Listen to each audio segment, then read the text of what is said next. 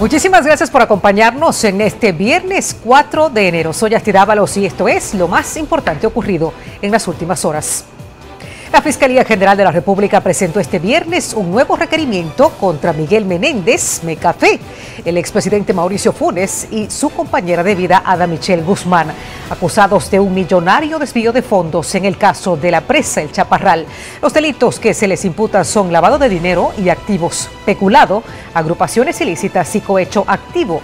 En el caso también están siendo acusados el expresidente de CEL, José Leopoldo Zamur Gómez, y los representantes de la empresa constructora Astaldi, José Efraín Quinteros y Mario Pieragostini.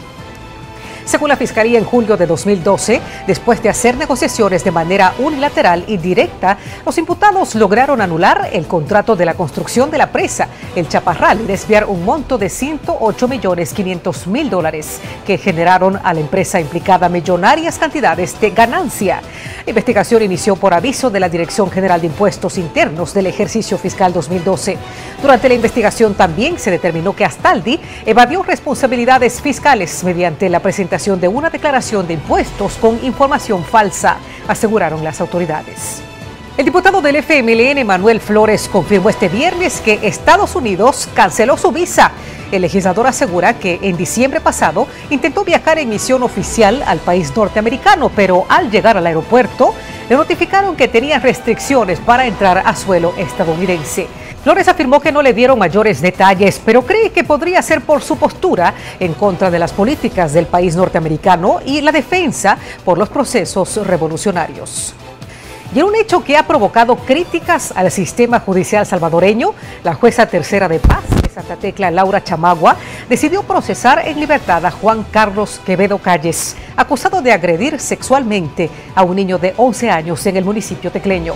La agresión sexual ocurrió, según informes del Cuerpo de Agentes Metropolitanos del municipio, el pasado sábado 29 de diciembre, entre la Quinta Calle Oriente y la Primera Avenida Norte de Santa Tecla.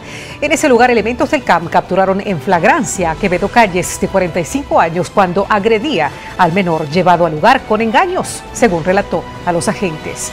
La jueza del tercero de paz argumentó que la fiscalía no pudo acreditar con indicios de prueba el delito por el cual se procesa al imputado. De acuerdo con un comunicado, la fiscalía, sin embargo, dijo que sí presentó el video que incrimina a Quevedo. Y en Panamá ya se preparan para recibir al Papa Francisco a escasas tres semanas de la Jornada Mundial de la Juventud.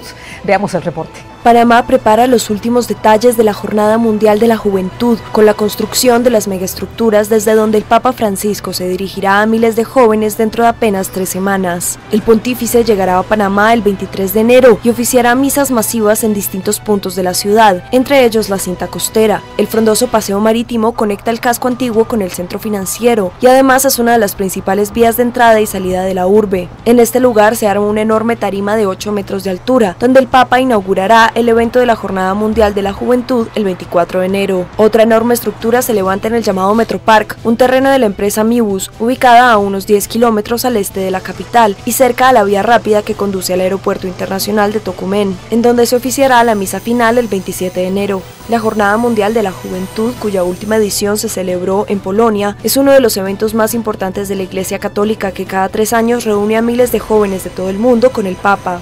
La Conferencia Episcopal Panameña informó en noviembre que ya hay 226 mil peregrinos inscritos y cerca de 5 mil periodistas acreditados. El gobierno panameño estima que el evento generará 250 millones de dólares en ingresos.